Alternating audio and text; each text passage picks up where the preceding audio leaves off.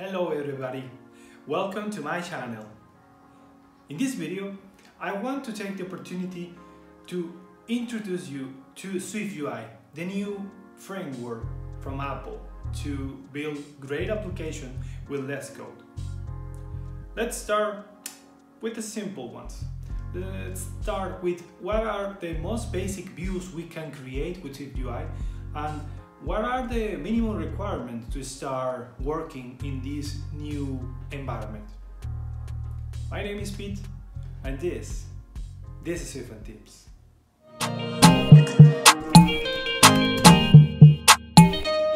We are here in a basic project that I just created and before start seeing what's inside every SwiftUI view, I wanted to take a moment to see where we are. So in iOS 14, what we have when we start project, let's just check. If we wanted to start a new project, we, we have many options, of course. Uh, we have in Xcode 12 the capability to create a multi-platform application, uh, which is in this case not something that we we wanted. Um, we have also uh, obviously all the options for the other, operating systems, but in our case, the obvious selection is application, right? So if we click next, we can uh, type the product name, which is in this case the name of the application. So we could test whatever we need. We also have the uh, identifier of this application, which is basically an ID that Apple will use once you upload your application to the App Store. And also, you have other two options, well, three options here to establish the configuration of your project. So one of them is the interface. Obviously, here is selected SwiftUI, but you have two options. You, you have obviously uh, SwiftUI, but also storyboard. If you select storyboard, you automatically will be selecting UIKit app delegate. It's the only option here, but if you go back and select SwiftUI, you have the option to select uh, a life, uh, the application with a lifecycle uh, with app delegate from UIKit, or make your app entirely in SwiftUI, right? Uh, I want, we want to see the difference in a moment, right? But if you select uh, SwiftUI application, um, and obviously you select SwiftUI, of course the language available is Swift, right? And you also could select core data or including test. There's not, these options are, well, just for other video. In this case, uh, I just wanted to show you uh, how to, how I create my, the, the, project, this project. So this is the basic configuration, uh, creating a SwiftUI app.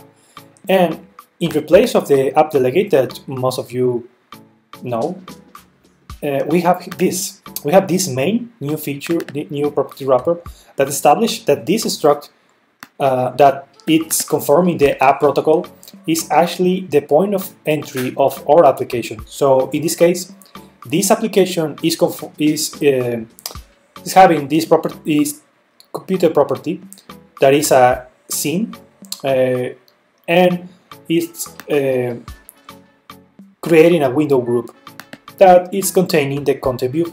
Uh, maybe all this information is, is a lot for you, but don't worry, uh, we want to explore all the details about this in a later video. But for now, I just wanted to keep your eye on the content view, okay? Which is the point of our root view, right? Uh, okay, you, you see, you already saw uh, a body in the main app, but did you also see body here in this content view? struct. Uh, what's that? So if we click here in the view uh, com with command click, we're going to see that this is actually a protocol, right? We're going to talk later about more in detail about protocols, but the only thing you need to know is that this protocol has an associated type body that is actually requiring a view to, to well, actually it's a, it's a type of uh, a view type. And um, the only requirement actually is a body, a body, a computed property called body that is um, attaching, uh, deco is decorated with a view builder uh, property proper. What this is telling us is that inside of this body, if we go back, oops, we can see that we have here our body, and the only requirement that body is is asking us is to provide uh, some kind of view that could be represented uh, in our view, in our screen. So, as you can see in your right side, there is already a preview uh, which was introduced in Xcode 13 um, that is, is instantly giving us feedback about what we are writing for our view. In this case, we have a text text view that is, of course, uh, displaying strings for us in the application. And also, this text is having something really cool. This padding here, which is actually a modifier. A modifier is uh, basically a way you can uh, recreate your view in other uh, multiple different ways. So, for example, this is a padding that is actually uh, giving uh, a standard space between uh, every every side of the of the text. But you could also change the font, for example, right? So you could add body font. You could also change the foreground color, which you could change it to red, and the background, why not? In this case, is requiring us a, a view. In this case, I will use color.blue, which is uh, a view. Oh, it's not so good. Let's keep green. Okay, there you have it. Instantly, instantly, you are seeing all the changes right away, right? Without compiling. We are not compiling any more Xcode. Of course, there are some issues sometimes, but in general, uh, previews worked uh, so well compared with the previous version of Xcode. Okay, cool. We have text, but what else we have? Uh, we have also images, right? I just added some couple of images for you, right? These are amiibos from uh, Nintendo, right? We're gonna use all, all, these images for the next couple of uh, demos. And for example, if we uh, want to add uh, other kind of, of views, in this case images, which is another of the most important views for uh, SwiftUI primitives. So there are many ways to initialize this view. I'm going to use the most basic one. Um, I will remove this actually. And Let's use uh, Samus, for example. There you have it. You have Samus in your screen, right? But uh, you could also apply uh, other modifiers for these images. For example, you could add a frame, which uh, will give you uh, a specific uh, quantity of, of points about about the, the, actual frame that, that will keep these images, this image. But as you can see, the image is out, out of bounds, out of the frame of, of this. What is happening? Because, um, well, this image is actually rendered in the original size, right? It's not affecting, the, the frame is not affecting the image itself. It's just affecting the, the frame of the image, right? But there is a cool modifier here that is called resizable, which is basically adapting the the size of the image to the frame, to the frame that is containing the image. Okay, so cool.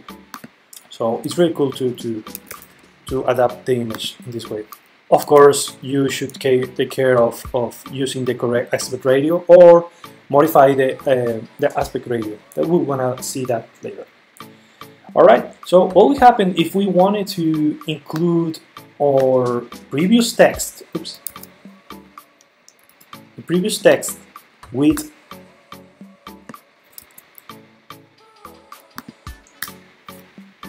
with the image at the same time. Okay, looks like the text is, is here, but the image just disappeared. What happened? Well, this is unexpected behavior because there is some conflicts to see uh, how to render these uh, images, these, these uh, views. Because essentially what is body is asking us is asking us for a view, right? It's telling us, okay, give me what is the view you want to render, right? But the view could be a bunch of other subviews inside, right? So it could be as complex as you want, right? However, um, it's not great, right? So let's make some fix here to see how we could adapt this. And yeah, for, fortunately, we have a great way to fix this. We have the stacks. Uh, select here, well, I'm gonna give a space. We can use the stacks. In this case, we have three kind of stacks. We have horizontal stacks, vertical stacks, and ZStacks, which is basically uh, uh, well a way to give uh, deepness in our views, right? So for this demo, I will use VStack.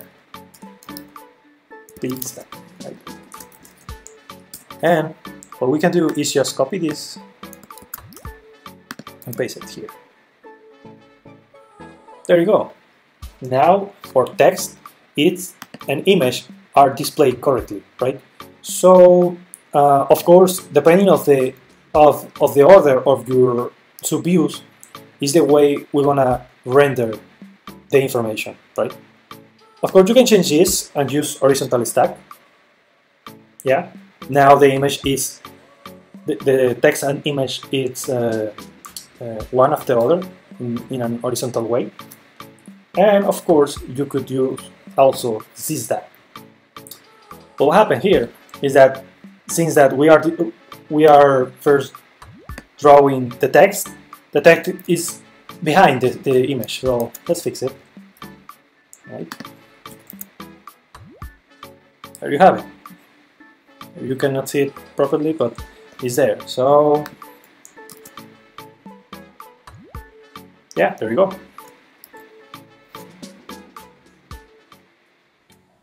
So that's it for this video.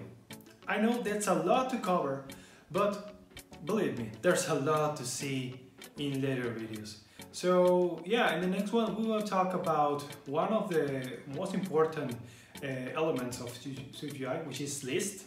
And coming videos, we will explore also the state management. So stay tuned for the next videos and thanks for support this channel. Thank you so much.